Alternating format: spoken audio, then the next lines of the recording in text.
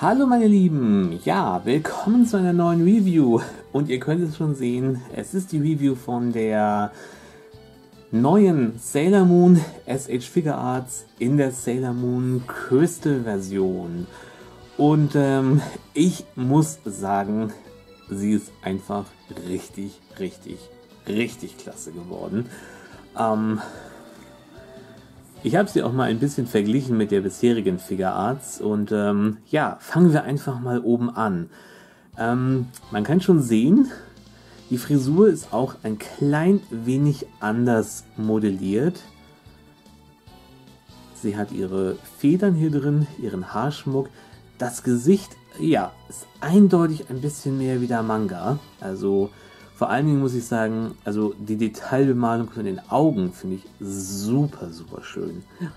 Also sie sehen richtig klasse aus. Ihre Tiara, ihre Ohrringe, vor allen Dingen auch die wirken total filigran. Ihre Haare, finde ich, sind super schön.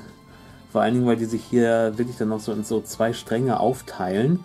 Ähm, und hier unten wird die Farbe ein bisschen dunkler und so ein ganz klein wenig durchscheinend. Und ähm, finde ich wunderschön. Und hier auch noch an der anderen Haarsträhne. Super klasse. Also es sieht einfach doch ein bisschen schöner aus als nur so zwei, so zwei platte Plastiksträhnen. Aber ich meine, die anderen Figure Arts sind natürlich so äh, nachempfunden, wie die Figuren halt im Original-Anime gezeichnet waren. Und da sahen die halt eben so aus. Aber dieses etwas filigranere finde ich einfach richtig, richtig schön. Ja, Sailor Moons Kragen, ähm, ihr Halsband, auch mit der kleinen Brosche.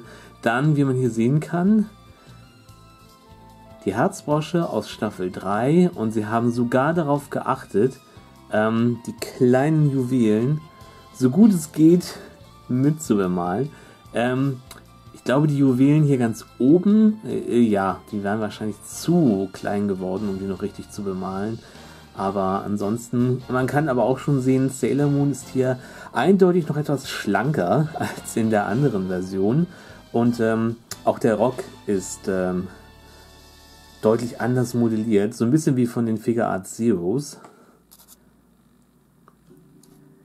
Hinten ist dann noch ihre Schleife. Hier ist nochmal ihr Kragen von hinten. Ja, ihre Stiefel sind jetzt nicht so anders. Die Monde vorne drauf sind etwas filigraner. Aber ansonsten ich da keinen großen Unterschied.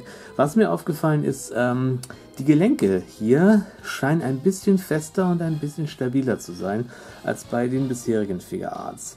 Und ähm, das gefällt mir eigentlich ziemlich gut. So, hier unten ist dann Ua, ihr Ständer. Steht auch drauf Sailor Moon. Damit so einen wirklich sehr schön verzierten Mond drauf.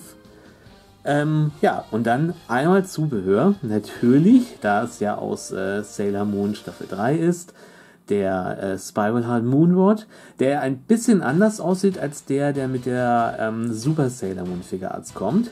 Also das Rosa vom Stab hier ist etwas heller, und man kann auch hier sehen, hier oben im Herz, ähm, auch das, ja, diese runde Verzierung in der Mitte ähm, ist bei dem, dem Stab, den Super Sailor Moon dabei hat, ist es ja silbern. Und äh, hier ist es einfach rot, wie das restliche Herz auch. Aber man kann auch hier sehen, die Arbeit daran ist wirklich richtig, richtig schön. Also ich muss ganz ehrlich sagen, eine also ich finde sie wunderschön, weil ich mag ja auch den Manga-Stil, in dem Sailor Moon gezeichnet ist, total gerne. Und das dann einfach auch mal so in Figurenform haben, ähm, ist wirklich richtig, richtig klasse. Ja, und ähm, was ist noch dabei? Ich rücke sie mal ein kleines Stück zur Seite. Was ich ganz toll finde, ist, man bekommt vier zusätzliche Gesichter und auch da muss ich sagen, ist gerade auch die Malerei von den Augen ist richtig toll. Also einmal Sailor Moon lächelnd, dann ja Sailor Moon äh, Kampfschrei, nicht das Mal. Dann noch einmal, aber da guckt sie dann quasi ein bisschen nach rechts. Also kann man den Unterschied sehen, da blickt sie dann halt nach rechts. Und dann hier unten nochmal mit geschlossenem Mond, wo sie nach links blickt. Und das finde ich ehrlich gesagt auch eine ziemlich schöne Idee. Einfach, dass die Augen einfach mal in eine andere Richtung gucken. Und dann, ja, die übliche Auswahl an verschiedenen Händen ähm, hier für ihre ganzen Posen. Hände, mit denen sie etwas greifen kann. Also richtig, richtig klasse. Und ähm, ja, ich hoffe, dass das nicht nur eine einzelne ähm, bewegliche Figure Arts in der Crystal-Version war, sondern dass wir da ähm, auch noch mehrere bekommen werden, weil das fände ich richtig klasse. Denn äh, Sailor Moon selber, ich kann noch mal ein bisschen näher ranzoomen an ihr Gesicht, denn Sailor Moon selber, muss ich sagen, ist, äh, ja, so, ist wirklich wunderschön geworden und sieht richtig, richtig klasse aus. Also, Nichts gegen die bisherigen Figure Arts, die waren natürlich auch schön, aber die waren halt natürlich im Stil vom alten Anime und das ist eben halt der Stil von Crystal, ähm, der dem Manga eben halt auch näher ist. Und ähm, deswegen, ich finde es richtig, richtig klasse. Und ähm, allein schon ihr Gesicht ist wunder, wunderschön modelliert. Und äh, die Augen, also das ist perfekt. Also die Bemalung ist einfach perfekt.